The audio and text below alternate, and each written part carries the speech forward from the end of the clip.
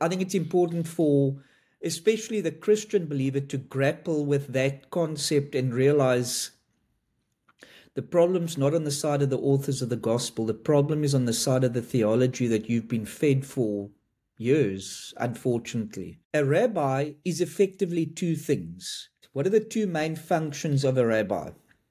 It's a teacher, but it's not just a regular teacher, it's a very specific teacher. Mm. It's a teacher of the law. Yeah. Now, now watch this. This is where it gets interesting. What would we call in modern societies where there is law? What would we call a teacher of the law? It's a lawyer. A law professor. Yeah. And effectively a lawyer.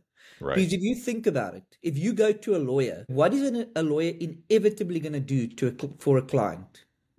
A Hmm. lawyer effectively teaches law even just by doing what a lawyer does.